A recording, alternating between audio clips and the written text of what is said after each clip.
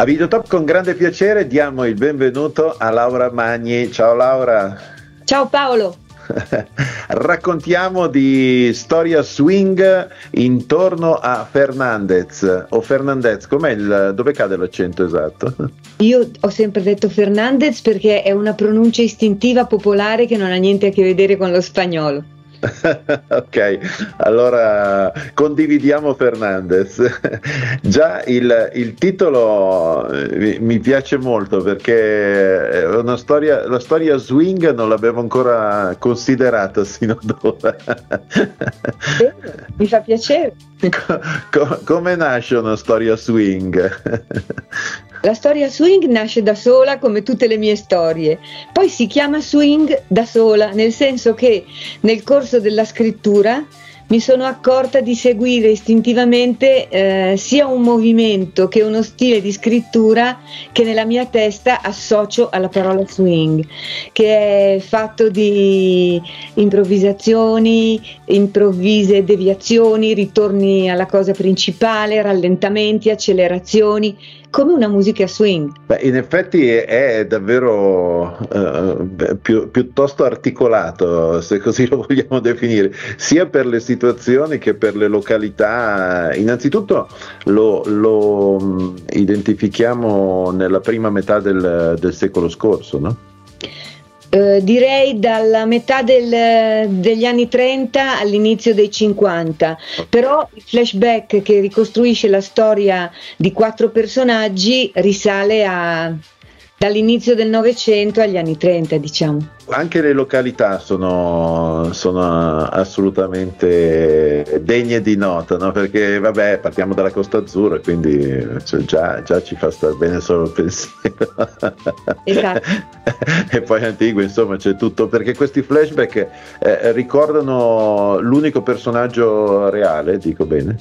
L'unico personaggio reale è Nikos Kazantzakis, che è questo intellettuale, eh, grande scrittore cretese che ha scelto Antibes come sua dimora definitiva, poi non lo è stato perché eh, le cose sono andate diversamente, non, non c'è tornato per la terza volta, ma mh, mm, amava tantissimo Antibes che diceva gli ricordava Creta per la luce, per l'aria, per lo spirito mediterraneo. Come sempre eh, eh, dico sia per, per, la musica che per i libri, insomma, sono da, da ascoltare e i libri da leggere piuttosto che da, da spiegare, no? ma mi piace invece ricordare quello che è il, il, il tuo percorso che vede eh, appunto i luoghi protagonisti di, dei, dei, tuoi viaggi dove se non vado errato ti stabilisci anche per un certo periodo o sbaglio?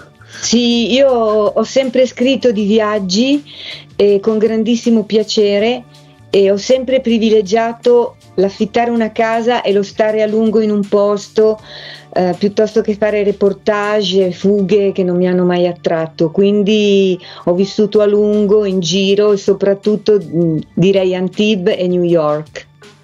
Mm.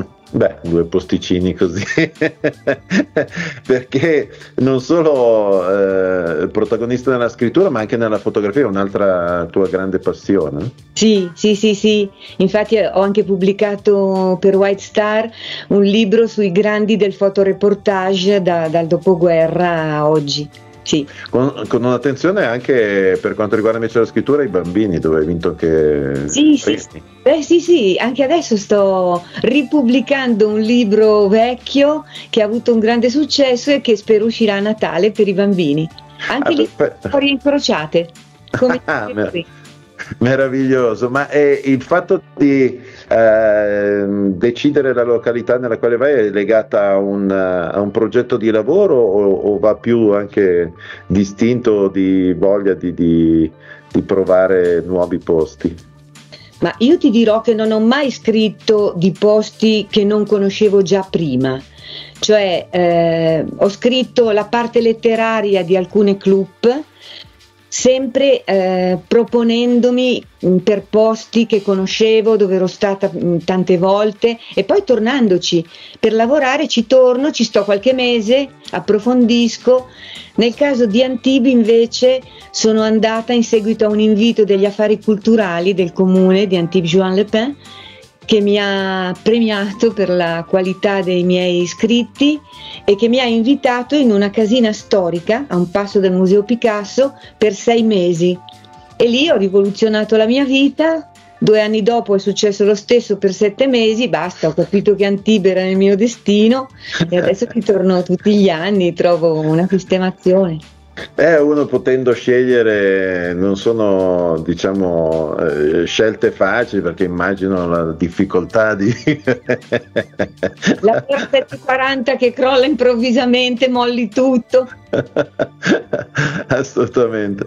Invece, ri- ritornando al libro, eh, c'è, c'è, questo eh, altalenarsi di situazioni di, di, di, personaggi e località che si intrecciano un po' lì sì. tutto il, il movimento. No? Infatti, come dicevamo all'inizio, lo swing che è una, eh, una, una, sorta di divagazione, se così lo possiamo definire, del jazz, ha proprio questa, questi sì. cambi eh, che, che, che sono la base proprio della musica.